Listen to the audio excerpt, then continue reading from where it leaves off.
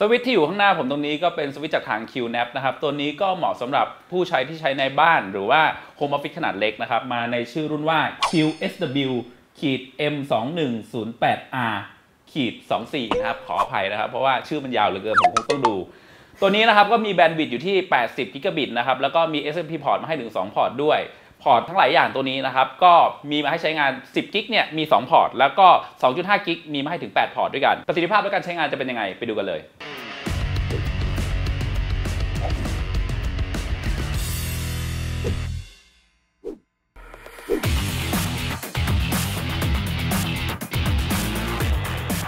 อุปกรณ์หลักๆ ที่มีมาให้ในกล่องนะครับ ก็จะเป็นขาแหลกนะครับ ตัวนี้เอาสำหรับยึดเมาส์ปิดหน้านะครับ แล้วก็ขาตัว L ยึดเข้าแหลก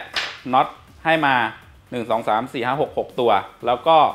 สาย power cord นะครับ ตัวเครื่องนะครับ ด้านหน้าก็จะเป็นสีดำทั้งหมดเลย ด้านซ้ายจะเป็นรู reset switch แล้วก็ไฟสถานะ ถัดไปนะครับก็จะเป็นพอร์ตสำหรับคอนโซลนะครับ พอร์ตแลน8ช่องตรงนี้จะเป็นพอร์ต 2.5G ช่อง 2 ช่องตรงนี้จะเป็นช่องแบบ combo นะครับ ก็คือเป็น share port นั่นเอง เป็น SFP Plus กับ RJ45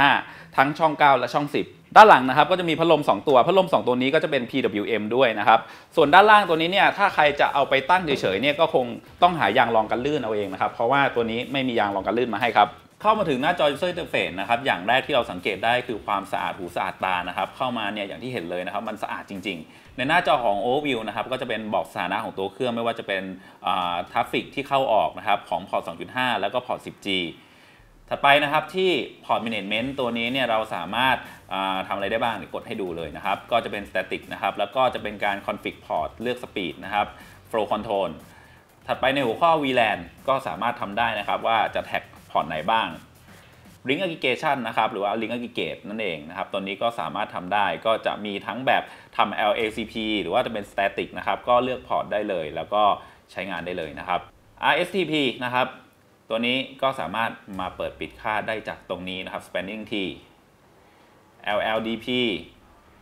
เดี๋ยวผมไล่ไปทีละหัวข้อให้นะครับ ตัวนี้เนี่ยในกรณีที่เราไม่เข้าใจตรงไหนนะครับ หรือว่างงเราสามารถกดตรง setting guide ได้นะครับ ทางด้านขวาเนี่ยมันก็จะบอกนะครับว่าแต่ละช่องทำงานยังไง IGMP snooping นะครับ ก็สำหรับการบล็อก IGMP หรือว่า manage IGMP ก็สามารถทำได้จากตรงนี้ครับ ACL Asset Control นะครับ โดย IP หรือว่าจะเป็น MAC address ก็ได้ QoS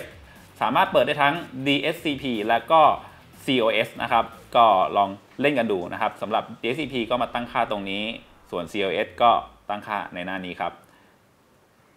หลักๆก็จะมีเท่านี้นะครับสำหรับตัว L2 Manage ตัวนี้ตัว System Setting นะครับ ก็จะเป็น Information ของตัวเครื่อง IPS date นะครับ ถ้าต้องการเปลี่ยน Password